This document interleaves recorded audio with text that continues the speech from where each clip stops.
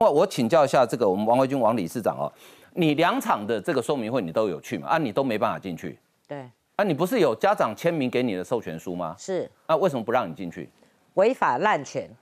嗯，啊、其实我以前就是司改委员，他们这样的一个手段哈，其实他只是希望用疲劳轰炸，一次一次的闭门会议，用六点、六点半、七点，然后知道这些家长其实都有幼儿的，嗯哼，那你有幼儿的家长，其实哈，他要工作，从台北回来，从哪里回来，那个时间，第一个他很赶，他也没办法吃饭，孩子也疲劳。昨天我看到一个家长出来的时候，孩子扛在肩上，孩子趴着睡着了，那爸爸是一脸的疲惫，我看了心真的很痛。可是在我还在痛的时候，我们的市长出来的时候，好整以暇，那个表情云淡风轻的，好像走星光大道一样走出来，然后有禁卫军帮他挡着，旁边的禁卫军告诉我说：“小心，小心，小心。”然后呢，我就大家看一下，直接现场看，整个都肿起来，我两个手是不一样的。淤青了哎。对，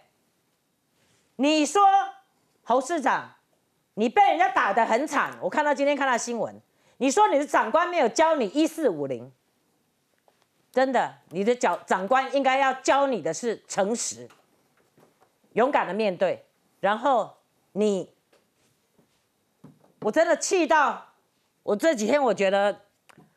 我没有办法去想象一个新北市的市长这么大的县市。结果你可以是用这么傲慢的态度，从这一点，我希望侯友谊，你的同理心到底是怎么展现的？嗯，你可以看一看，今天他去包粽子了，是不是开心的包粽子？然后侯友谊开心包粽，王维军手上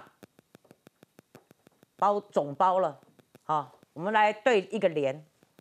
是不是很讽刺？哦，刚刚王理事长给我们看到他手上的伤哈，那个应该就是推挤造成的了哈。那这些禁卫军到底是谁呢？呃，这个我们现场的林炳佑议员发现了哈，这些人竟然都是国中小的后用校长哦，这些基层教育精英哦，这个竟然被教训状。那什么叫后用校长？可能一般人不是很了解哦。简单跟大家解释，就是因为我们现在的校长要经过甄选的资格，那这些人都是考过了，就是他有资格被派去当校长。但是呢，但是人生最重要的事情就是但是后面什么时候派派去哪里，教育局决定哦，那你就知道，如果教育局让他们去，他们敢不去吗？所以，呃，这个丙佑议员就找这个脸书，呃，脸书也贴了一个他们的呃动员的，这果然是当过警察的人哦，这完全就是冲安演习的标准配备啊。哎，丙佑，你这这个对话群组是哪里来的啊？哎、这个其实这个对话群组我必须讲了哈，这个显然就是他们内部也有很多人对这样子的一个工作安排是很不满的，所以其实教育界的人士提供给我们，他其实希望透过我们来发声，就是说他们其实不想当共犯，啊，我们看哈、六月十一号星期天说明会资源，请大家下午五点到举光国小会议室集合哦，还怕你找不到哦，在综合大楼校长室旁边。A 最重要 A 嘛，对不对？人墙八人，在市长周围，女的几个，男的几个。哎，侯友谊有随护嘛，对不对？有随护保护他的安全，那为什么特别需要人墙八人？请问是要挡谁啊？这我可以说明一下嗯，因为其实这个说明会不是办第一次，它其实办两次。对，那第一次的时候是我跟那个黄淑君议员、陈乃宇还有这个张维宪四个议员在现场待到最后。嗯，那因为显然他们第一场的时候，呃，现场的这个工作人员除了教育局之外，哈，还有大部分都是志工了哈。那我们当然是希望透过不同的这个角度，看看里面到底发生什么事情嘛，因为我们被阻挡在铁门之外嘛。所以我们几个议员都在这个呃综合的体育馆的四周游走，看看有没有什么地方可以进去看一下。嗯，结果他们可能发现，在那个情境之下，第一个他们没办法限制我们的行动。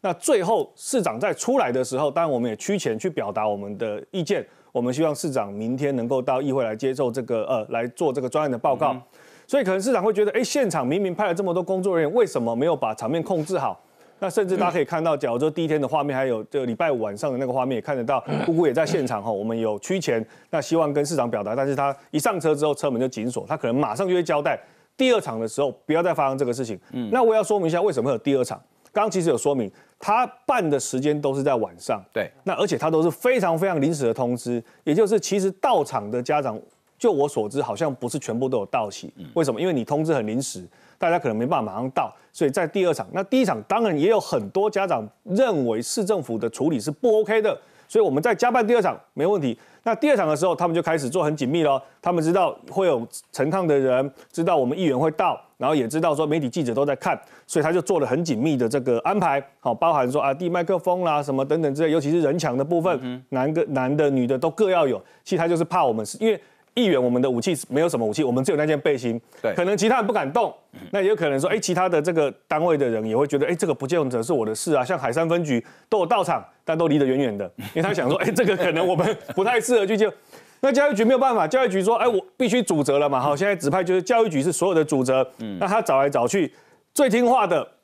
就是这些后用的校长，因为刚刚焕哥有讲到哈，这些校长现在全部都是他经过常年的这个呃经验。好，在基层教育服务之后考选，等于是已经是这个比较优秀的人，能得到这个资格。那他们经过一年的这个呃所谓的实习之后，就准备等着分发。但他能不能顺利的分发，就是看局长，就是看市长。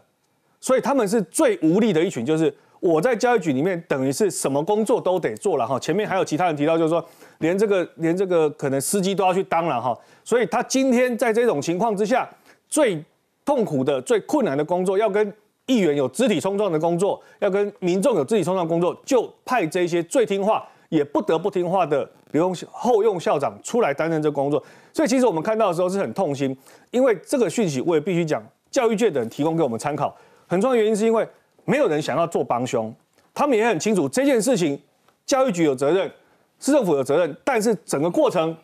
拖延这么久，现在还在推卸，开始说啊，四月没有收到啦，五月什么有的没的。那当然也有很多国民党议员随着这个市政府的口径在调整他们的说法。嗯哼，这都无所谓。真正五月十五报案开始到现在将近一个月，我们到底得到了什么答案？还是看不到嘛？啊，看不到的情形之下，我们现在在这里要求，不断的要求，其实要看什么？要看到都是只是真相。刚刚都提到，不是只有这个幼稚园而已，我们选区里面也有很多家长都来问，因为这是连锁的幼儿园。嗯哼。这是连锁的品牌嘛，哈，当然各自的情况不同，直营的加盟状况不同，但是家长会担心呢。可是连高雄、连台南，他们都可以马上下令我做清查，有没有这样的状况？新北市政府到现在还没有做这个事情。嗯，我听说私底下有，私底下做，可是他不愿意公开，我们就不了解为什么。因为其他区的我知道，我们其他行政区的这个学校已经有被清查过，但是我的区的有三间连锁的还没有被清查。家长很担心啊，可是我我不知道我该怎么跟他讲，因为我们在议会有没有要求有，但是是否不愿意说明？嗯，我们现在面临的情况都是一样，他为什么要在这个这个铁门里面一对一的去做这个处理？我们有听说家长转述了哈，他是这样子，现在市政府告诉所有的家长说，你不要听外面媒体讲什么，你不要听民意代表讲什么，你听我讲，他们讲的都是假的。现在甚至侯友谊说。这个讲四月份有任何通报都是假的。嗯哼，好，他是要说你外面都假的，你们听好喽，家长你们听好，如果你们不听我们市政府的话，嗯，你不跟我们合作，我就没有办法帮你。哦，所以这是在恐吓跟威胁。我我我不知道他们的语气是不是，但是就我的角度来看，现在为什么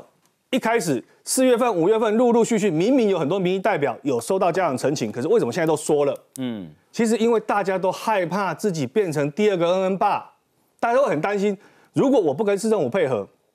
我有不同的意见，我希望公开更多的讯息。可是市政府马上要告诉你说，现在你小朋友的安置是我在处理，嗯，你后续有诉讼的需求是我在处理，你要不要跟我配合？我想现在的家长在一个很惊慌的情况，我连我小孩子我的受到的损害什么我不清楚，医学的需求是什么我还不清楚。市政府来告诉我的唯一一件事情就是，其他人讲的都假的，你只要听我的。那在这么复杂、在这么痛苦的情形之下，刚刚有提到嘛，都是在晚上，小孩子很疲劳，家长下班回来也很疲劳情形之下，我觉得这集也已经有点到类似疲劳审讯的状况之下，你有什么事实是可以厘清的？其实没有，他其实好像是在营造一个环境，是我输入所有我希望市政府传达的讯息给你，嗯，你来配合我，嗯，那接下来好。这些家长出来之后，他没办法去再跟社会大众说明太多，因为他有他自己要权衡的地方，并不是每个人都有能力。我们必须讲，我们要努努力的支持这些人，因为不是每个人都有办法去抵抗市政府这样子的一个做法。所以，所以其实当我们看到他对家长的态度，他对这件事情的态度，然后以至于到连这么细微去使用这些后用校长来介入这个工作。我刚后用校长还没讲完，第二段其实我在里面哈写的，我们在里面讲的是人墙哈，人墙就是他们要出来手牵着手，这个在呃黄淑君议员的直播影片里面可以看到，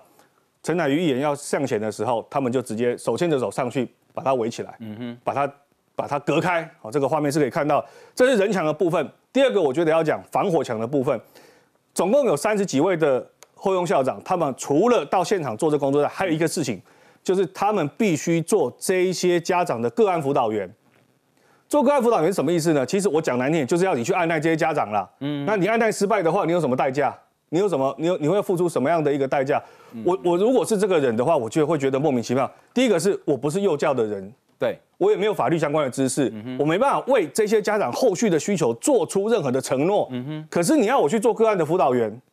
我我觉得这是一件很不公平的事情。但是如果我辅导不成，这个家长只要其他的意见是谁的责任？